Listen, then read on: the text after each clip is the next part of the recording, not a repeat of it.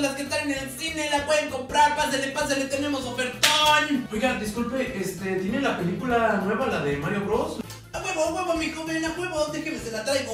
Aquí está, joven, aquí está. 20 pesos. Oh, no manches, está bien barata. Vean, la compro.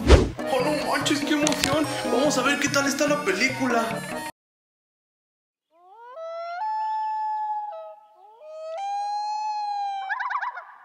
Y es por que no deben comprar piratería.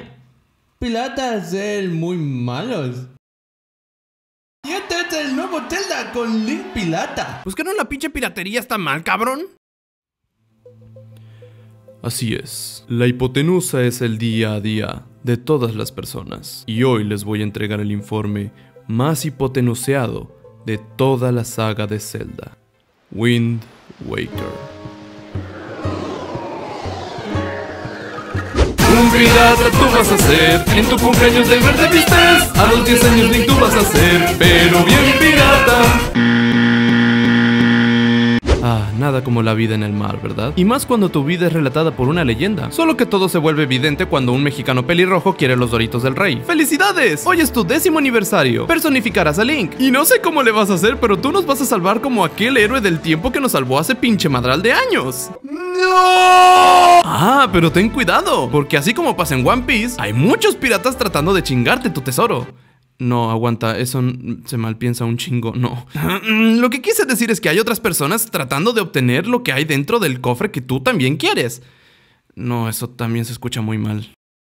Bueno, ya me entendieron. Si de por sí no fuera suficiente chinga para un plebe de 10 años el salvar todo un reino. Aunque al inicio solo importaba a mi hermanita, porque, pues, como dijo Toreto, la familia es primero, ¿no? La gente que te ayuda no pinches colabora. Te cobran por una vela para navegar. Te cobran por tener armamento. Te cobran para que te pasen mapas para saber dónde están las cosas que necesitas. A la vez, con sus pinches tradiciones, ¿saben ustedes?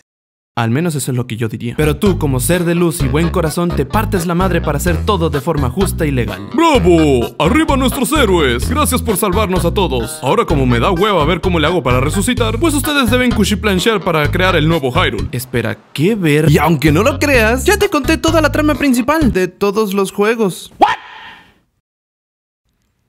Bueno, no de todos. Tranquilo, esto aún no termina. ¿Qué les parece si les cuento un poco de las misiones extra que hay en este juego? ¿Reconocen a este? No sé si me vio cara de multimedia o de Peter Parkour. Nunca supe cómo se escribe. Ya que este pendejo te pide que le tomes fotos a... ¡Literalmente todos!